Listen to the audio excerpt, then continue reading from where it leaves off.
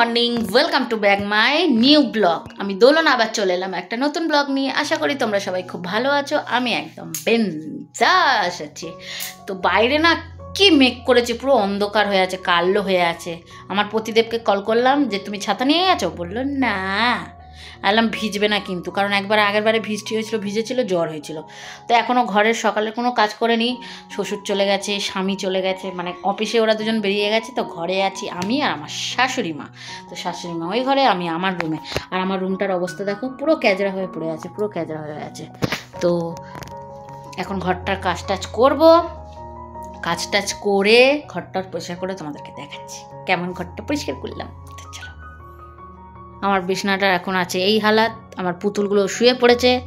হ্যাঁ এই হালাত হয়ে আছে। আর কালকে এক জায়গায় গেছিলাম, ঠিক আছে? তো সব জিনিসপত্র সব বাইরে রাখা। আর আলনাটাও আমার বর অফিসে যায়, টেনে টুনে। আমি যতবার গোছাই আলনাটাও ওরম। তো চলো ঘরটর গুছিয়ে তোমাদেরকে দেখাচ্ছি। আমার সমস্ত ঘরের কাজ কমপ্লিট। আলনাটাও গুছিয়ে নিয়েছি। এই সাইডে আছে আমার পতিদেবের অফিসের জামা, আর ওই সাইডে আছে বাড়ি পড়ার জামা, আর ওইগুলো আছে আমার। সমস্ত কাজ কমপ্লিট। ব্ল্যাঙ্কেটটা কাচাতে দেবো। তোমরা আবার ভাবছ যে, বাবা, এত গরমের মধ্যে ব্ল্যাঙ্কেট কী করছে? কিছু মনে করো না, ব্ল্যাঙ্কেটটাকে একটু ইগনোর করো, কারণ এটা কাচাতে দেবো, তারপর তুলবো। তো আমার পুতুলগুলো দেখো, টেবিল টেবিল, সব পরিষ্কার পরিচ্ছন্ন করে। আর এই দেখো, তোমরা ভাবছ যে, এতদিন ভিডিও দিইনি কেন কমেডি ভিডিও আসেনি কেন? তার কারণ এই যে।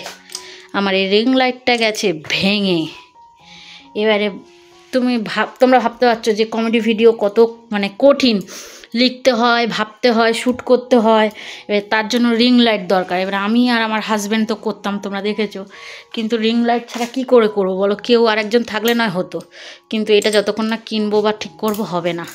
ঠিক আছে, হয়ে গেলে একটু যেরকম আমার কমেডি ভিডিও তোমরা আমাকে সাপোর্ট করতে তো সেরকম একটু ব্লগ ভিডিও আবার কন্টিনিউ দেখো কটা অন্তত একটা দুটো মাস।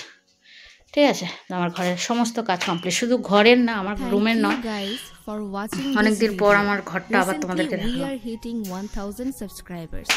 Thank you ঘরের সমস্ত কাজ রেডি সমস্ত কাজ। তো বাইরে বৃষ্টি হচ্ছে দেখো। দেখতে পাচ্ছ? কি মেঘ করে আছে কালো হয়ে আছে। হ্যাঁ। রান্নাঘরের কাজ ফাজও সব কমপ্লিট। এখন যাব ছাদে এটা মেলতে। আর মায়ের ঘরের কাজও আমি করে নিয়েছি। আর আমি এদিকে কাজ করছি বলে, মা বলে, তুই এদিকে কাজ কর, আমি বাসনগুলো মাজি। আর এগুলো কালকেরে পড়ে গেছিল এক জায়গায়, এগুলো কাচতে দিতে হবে। তো এখন যাব ছাদে। অন্ধকার হয়ে আছে। তোমরা একটু ইগনোর করো।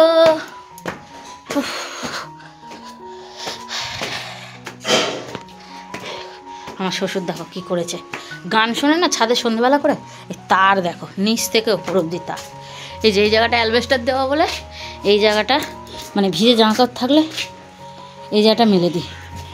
শোকাক এখন, সারাদিন রাত শোকাক। এখানে তো আর অসুবিধা না হয় না? ভিজে গেছে, দেখেছ? আর আমার সব গাছ মরে গেছে, জানো? ছাদটাও তোমাদের অনেক দিন পরে দেখালাম। পুরো ভিজে।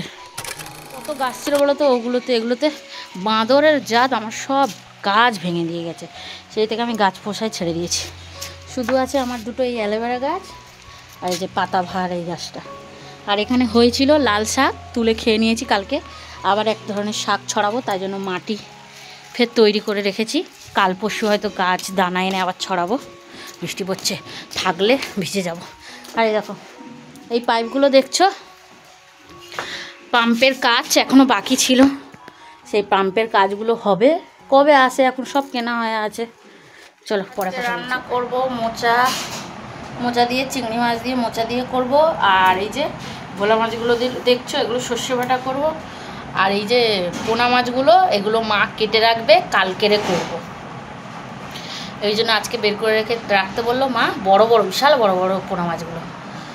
হ্যাঁ তো এইগুলো মা বের করে রাখতে বলল কালকে তরকারি হবে বলে আজকে কেটে রাখবে।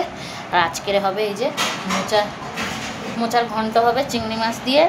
আর করব ভোলা মাছের ঝাল, তো ওই জন্য এখন বের করে রাখলাম। মাছ ভাজা হয়ে গেছে। ভোলা মাছ আর ট্যাংরা মাছ ভেজেছি। আর এই যে চিংড়ি মাছটা ভাজছি। আর এদিকে দেখো মশলাপাতি সব কাটা হয়ে গেছে। এটা হচ্ছে ভোলা মাছের আলু, এটা হচ্ছে মোচার ঘন্টর আলু কেটেছি অল্পই আলু দেবো। আর এখানে রেখেছি মোচা, নুন আর হলুদ দিয়ে সিদ্ধ করে। তাই। এখানে চিংড়ি মাছটা হয়ে গেলে তরকারিটা বসাবো। আলু দিয়ে ঝাল, আর এখানে হচ্ছে মোচার ঘন্ট। তাই দেখো, এই দুটো বাটি নিয়েছি কেন বলো তো? অর্ণপের জন্য তুলে রাখব। এবারে এখন তো গরম পড়েছে, হুম, আগের থেকে যদি না তুলে রাখি না, তো নষ্ট হয়ে যায়। ওই জন্য আগের থেকে অর্ণপের তুলে দিই তরকারি, তারপর আমরা মানে হাঁ, ঘাঁটা চাওড়া করব।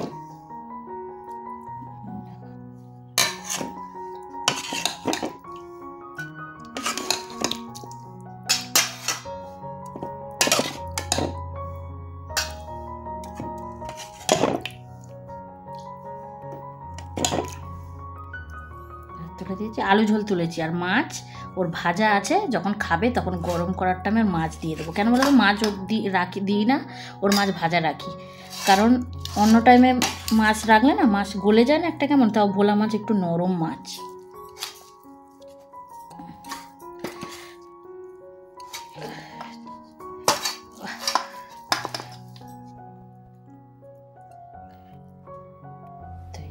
হয়ে গেছে।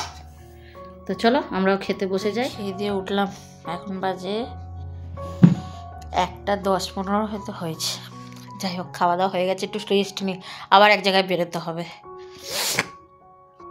তখন যাওয়ার সময় কথা বলব। তো চলো, আবার পরে কথা যাওয়ার কথা ছিল, তো ওই জন্য এখন বেরিয়ে গেছি। তোমাদের সাথে কথা বলব, একদম ভুলে গেছি। তো বাইরে বেরিয়ে তো এই যে লাল কালার চুড়িদারটা পরেছি। তো একটু মিটিং আছে। কিসের মিটিং পরে এসে বলব তোমাদের। যদি টাইম পাই তো।